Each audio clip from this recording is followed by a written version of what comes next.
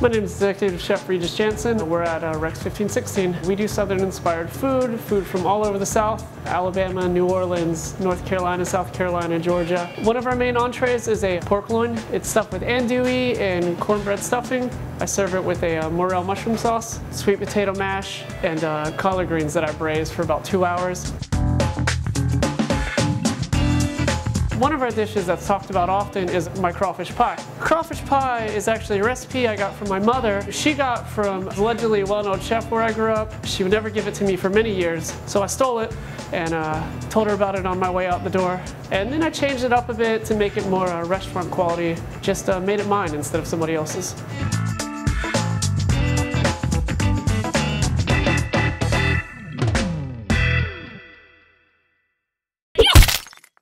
Oh!